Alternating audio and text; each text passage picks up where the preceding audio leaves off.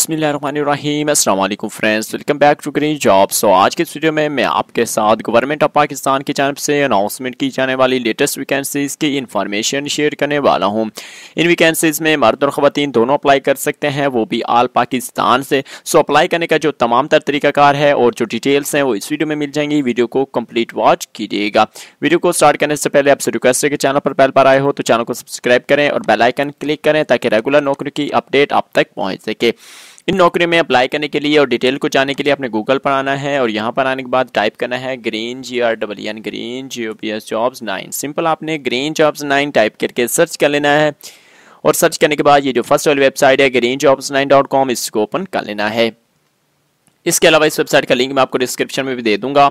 Open करने के बाद आपने सिंपल स्क्रॉल ऑन कर लेना है और यहाँ पर ऑल लेटेस्ट जॉब्स अपडेट वाले बॉक्स में है।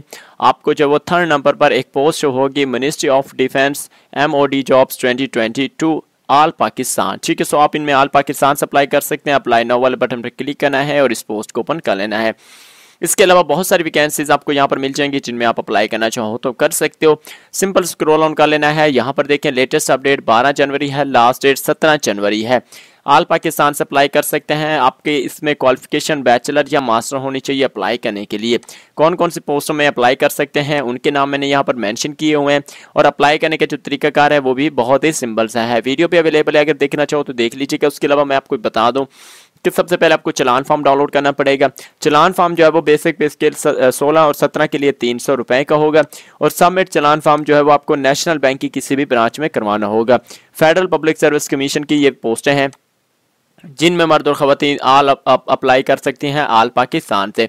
इसके अलावा नीचे आ जाते हैं तो यहाँ पर देखिए इनका एडवर्टाइजिंग पेपर भी अवेलेबल है, और इस एडवर्टाइजिंग पेपर को आप रीड करके, इसमें जो है इनकी डिटेल्स को रीड करके इनमें अप्लाई कर सकती हो। तो आज के लिए इतना ही, मिलते हैं आपसे इनशाला नेक्स्ट वीडियो में। तब तक के लिए मुझे दीजिए इजाज़त, अल्लाह